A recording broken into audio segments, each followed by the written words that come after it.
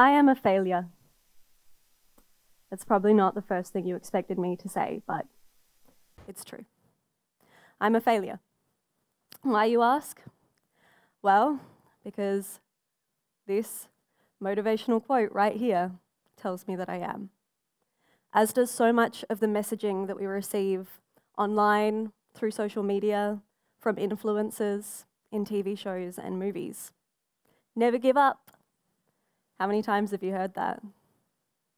Well, I did give up, and I'm here to tell you that it's okay to do the same. So, what is it that I gave up? I was a singer, a singer songwriter, in fact. It was a career that I had dreamed of since I was seven. And by 21, with a lot of hard work and a bunch of luck, I became a reasonably successful singer, touring the country with my band. I won awards, I topped charts, I even played at the Sydney Opera House. I was living the dream. Except I wasn't. While music was literally my dream, the reality was quite different. Music was a struggle for me. While other people seem to enjoy the climb, the everyday hustle of trying to make it in the music scene, I did not. I found the day to day draining and unfulfilling. Okay, you're thinking, so you don't like something, then leave. Seems simple, right? Not so much. While we're often told that if something isn't working for us, that we should leave, quit that job, leave that partner, I'm sure that any of you who have actually had to come to that decision would know that it's just not that easy. And with dreams, it's almost expected that the going will get tough at some point. We're told that only those who are committed to their dreams will ever make them realities. And so we continue on, hoping that soon the struggle will pay off and we'll be one of the lucky ones whose commitment is rewarded. To do anything other than music felt like a betrayal of myself, my dream, and everybody who had supported me along the way. My life and my music had been intertwined for such a long time that I honestly didn't know who I would be without music. Not to mention the stigma of failure. The idea of giving up felt like I would have to walk into a room filled with every single person who had ever said, I'd never make it. Climbing on a table in front of them wearing some kind of novelty hat and saying, You're right. I didn't make it. Worse than that was the idea of telling my friends and family, the people who knew me and knew how much I loved music. Letting people down, especially those you love, has got to be one of the worst feelings. I think most of us would do a lot to avoid feeling like that. So for me, leaving didn't really feel like an option. I didn't know it back then, but my first step to changing these unhelpful narratives was taking up a new hobby. For me, that hobby was an undergraduate degree majoring in animal behaviour. It was within this degree that I started to grow new dreams. Maybe now I could be like Jane Goodall or David Attenborough. I went from performing under bright lights in big cities to collecting data in the dust, rain, and heat. I came alive. Suddenly, I understood what musicians had been telling me for so long about how they were doing it for the love. I was doing it for the love, except it wasn't music, it was science. It wasn't just the highs that sustained me anymore, but every single day with its little wins. I loved it. But too bad, right? The only failure in life is in giving up. I had poured so much of myself into my music.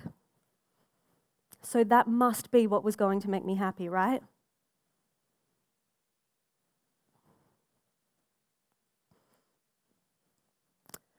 So I found myself in a bit of a teenage romance esque love triangle. Except instead of choosing between two dashing love interests, I was stuck between two life paths. One that I had already begun to clear with music, and a new, unknown path with science. I would spend three years in the middle of this triangle. But eventually, I had to face the facts. I had been experiencing burnout, anxiety, and depression for a long time. I felt like I was falling apart. And in many ways, it was because I was holding on to a dream that didn't want to hold on to me. So, I let go. I gave up. And in doing so, by many definitions, I failed. But failure wasn't what I expected. I didn't feel like a failure. I wasn't chain eating tubs of ice cream and crying like you see in the movies. I was sad, but more like the sadness of coming home after a wonderful holiday or of graduating and knowing that soon you'll have to leave some of your friends behind. It was a deep sadness, but a loving one. And underneath it was something new a feeling of excitement and possibility. Giving up allowed me to grow and adapt in ways that I'd never permitted myself before. Giving up on my dream stopped me from giving up on myself. Okay, good for me, right? But what does this have to do with you? I'm willing to bet that some of you have a dream or an idea that plays on your mind. Maybe you're actively pursuing it right now, or maybe it's taking up headspace on a shelf. If you are sitting here and you are thinking that maybe you too are pursuing a dream or an idea that no longer serves you, but you're just not sure if it's time to let go, this is for you. Here are some questions that you can ask yourself Is your heart still in it? One of the first things I noticed was that I started to avoid my music. I delayed everything. Each day would just take so long because I didn't want to do it. I didn't want to be there. Your time and your life are precious. What are you putting on hold so that you can go after this? Are you neglecting your relationships, yourself? Dreams are meant to be concepts that we enjoy pursuing. So pay attention to how you feel and be prepared to accept that your heart may have already checked out. It's just waiting for you to catch up. Why did you start? What was it that made you pick this dream in the first place? Is it even your dream, or is it an expectation that somebody's placed on you? Are you currently finding it a struggle, but you're hoping that if you just keep going, you just get to the top of that hill, that then you will feel relief. I hate to break it to you, but the way that you feel during the process is often how you feel at the destination. Because really, there is no destination. It's all journey with some pit stops along the way. Maybe you chose being a doctor because what you want is to feel valued and to make a difference. Can you find those things another way? There are so many ways to find the fulfillment that you're seeking. Maybe it's time to let yourself try them. Do you just need permission? At my lowest, all I wanted was for somebody to tell me it was okay to give up. I Googled it, I listened to podcasts, just hoping that someone would say those words. But they didn't. And while I would love to give you that permission right now, it's not me you need it from. It's yourself. What I can tell you is that you can trust yourself. Trust that you will make good decisions. Trust that if you make a mistake, you can adapt and fix it. You have your best interests at heart, so listen to yourself. Okay, so maybe you think it is time to let go, but you're not really sure what to expect. I get it. I always like to look ahead too. Lucky for you, I've already walked this path. Here are a few things that I've learned. There will be a grieving period. Just as with everything else you've ever had to let go of in your life, there will be adjustments. It's okay to let yourself reflect and sit on your decision for a while. You don't even have to tell anybody else about it yet if you don't want to.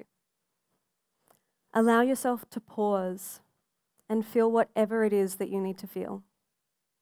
There is no rush. Check your ego. This was probably the hardest for me.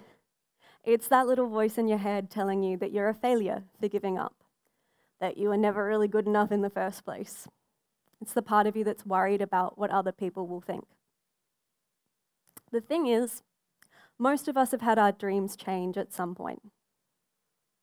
It is very rare that anybody gets exactly what they want in exactly the way that they imagined. This is a very human experience that you are going through.